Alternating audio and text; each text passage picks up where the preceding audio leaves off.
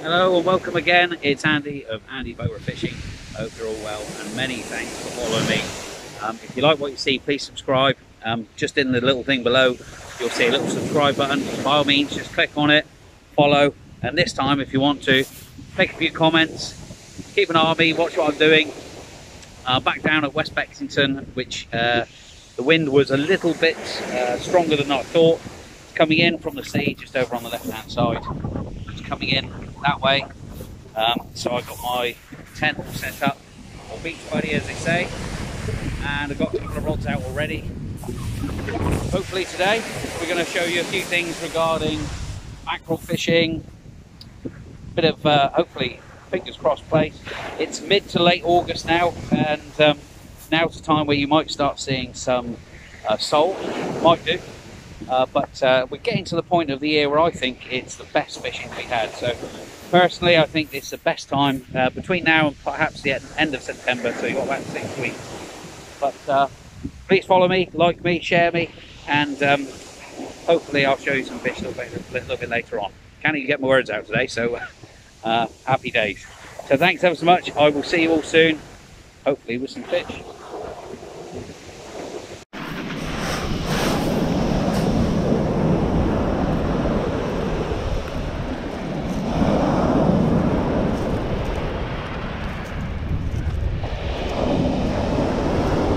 Little white bait just getting put, pushed up on the beach.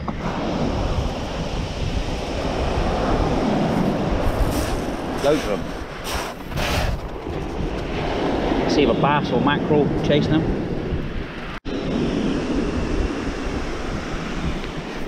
So a big wave just washed up. Lots of little white bait. And I picked up a handful on the beach. Good sign. There's definitely predators around.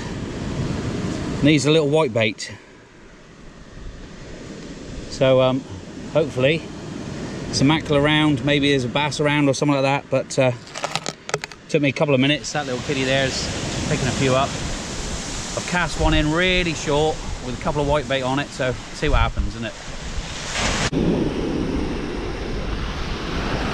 Well, I get this on my head. A load of white bait just got washed up, so I thought I'll put some feathers on quickly. And it feels like I've got a mackerel here. But I'm hoping in a minute I'm going to put a um, plug on. Here we go mackerel. Oh happy days. Because the white bait um, got washed up that's why I decided to stick the feathers on quickly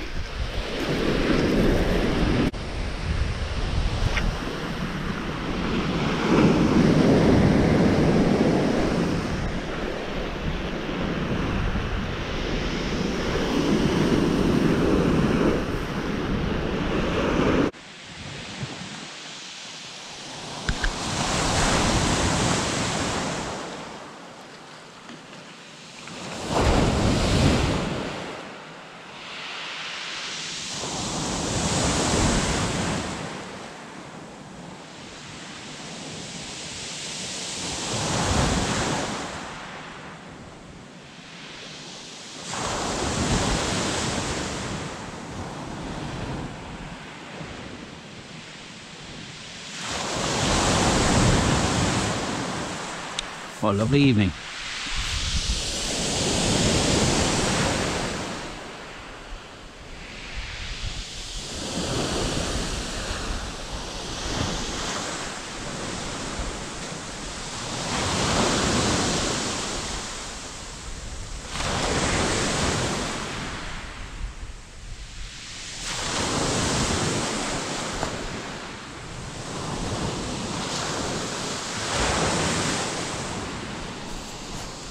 As I mentioned earlier, it's been hard, hard going.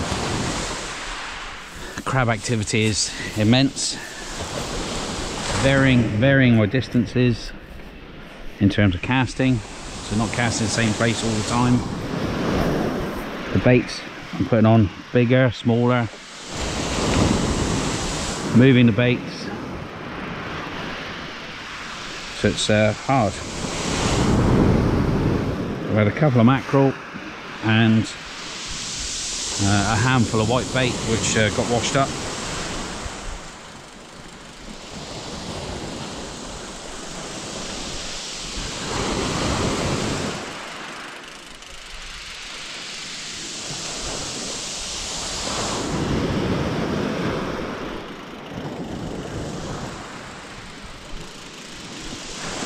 I was thinking of going tomorrow as well, but uh, I think they'll come back here tomorrow.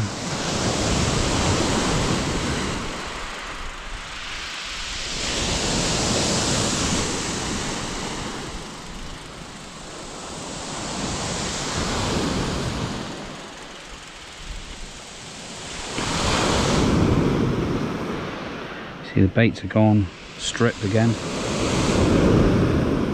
That's been out 15 minutes that bait.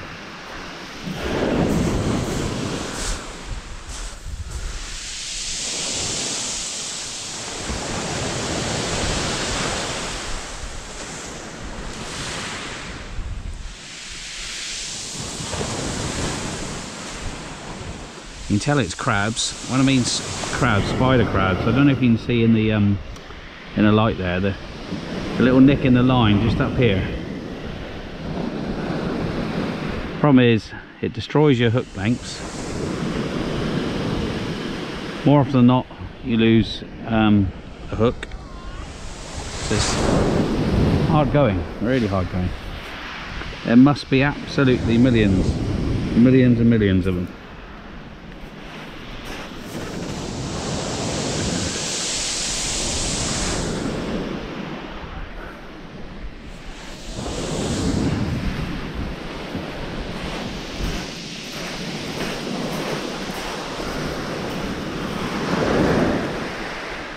Setting's lovely, isn't it?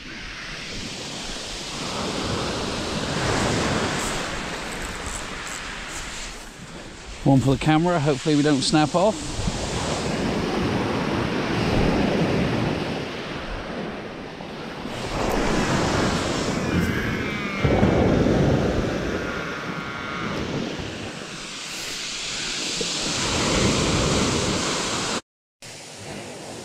Proving to be a lot more difficult than what I thought today. Um, the baits are getting absolutely stripped really, really fast uh, from the crabs. There must be absolutely millions of crabs, and I know at certain times of the year the spider crab um, population down here is pretty immense. Um, I'm putting baits out every 10 15 minutes, and they're coming back in pretty much stripped. A couple of the hooks are gone as well, so it's been really tough, really tough. Really nice bit of tide. Got a lovely um, bend in the rods with the tide. When I say the tide, although the, the water's there and you can see it and all the rest of it, as the tide comes in, sometimes on big tides you get a, a bit of tidal pull. And uh, so I've got a nice bit of tide pull, which I always like when it's fishing. But those spider crabs are proving very tough. I've put on bigger baits. I've got I've got um, half mackerel baits, bigger worm baits, but it's really really hard work. So uh, I'm going to keep fishing. High tides in about half an hour. Had a couple of mackerel. There's been a few white bait washed up, but uh, it's it's a lovely setting. If anything, it's nice, lovely, fresh air. Hopefully, I mean hopefully. I'll get you some fish. We've just wound in the tiniest of gurnards. It's a tub gurnard. Literally just pulled him in, so I'm not going to hang about too much because uh, I want to get him back. So a little tub gurnard. Just back in the water.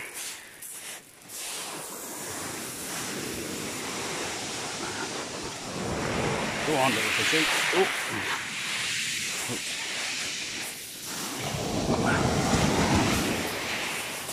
There we go. Off he goes.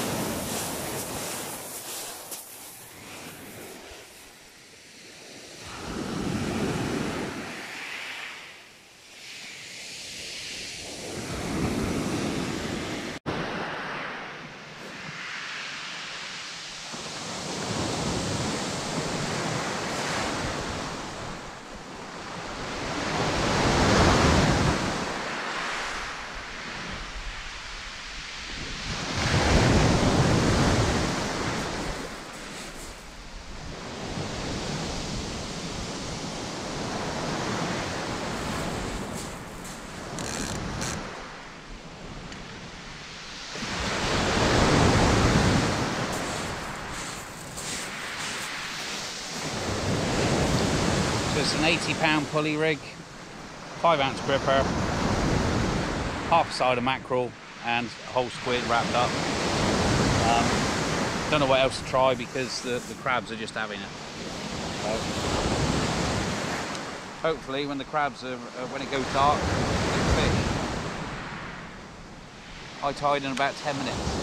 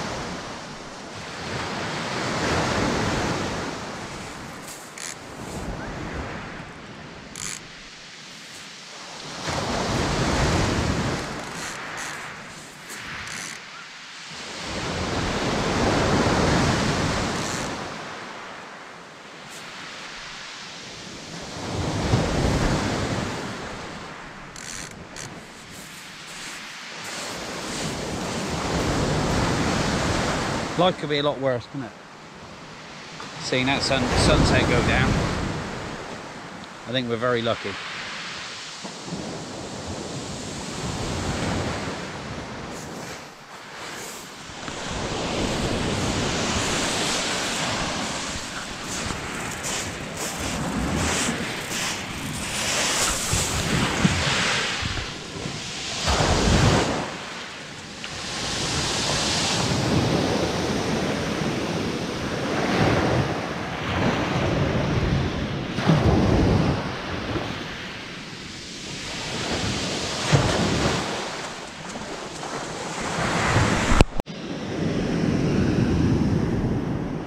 It's pretty much done and dusted. It is literally just there and off he goes. Night night, Mr. Sun. Something's been messing around with this right hand rod for a bit. I've left it for a while just in case. Um, I say left it for a while, sometimes you leave them long enough. If it's a plaice or a sole, you never know, but uh, I'm not too sure.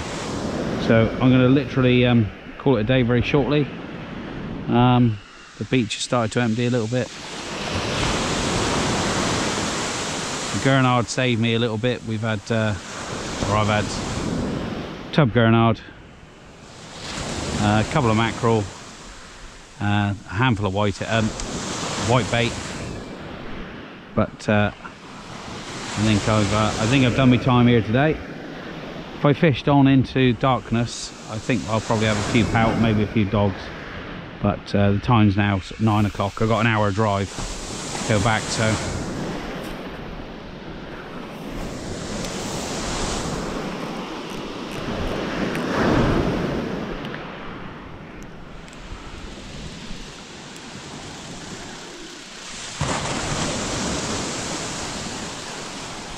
Wishful thinking, I think.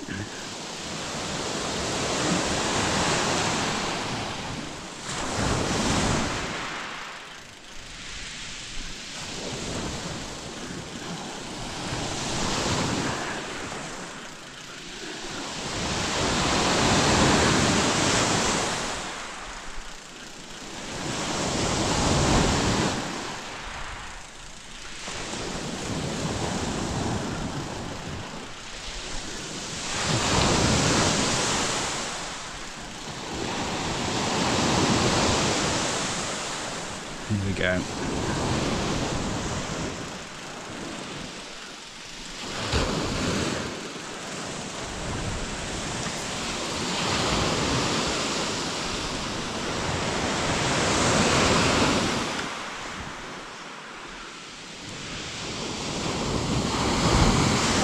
No, well, I think that's uh, I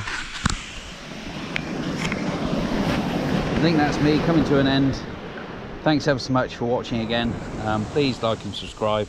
Let's keep this journey going. I really appreciate it. Hey, fishing's a game of two halves at times, isn't it? You know, sometimes you can catch a few fish, sometimes you can't. But uh, there we go. So thanks once again. I'll see you all soon. Well, the last wind in, I saw a couple of little nibbles. There's a very, very small whiting there. Bait's almost as big as that. And a little pouting as well. So that, that's a pout. And the whiting.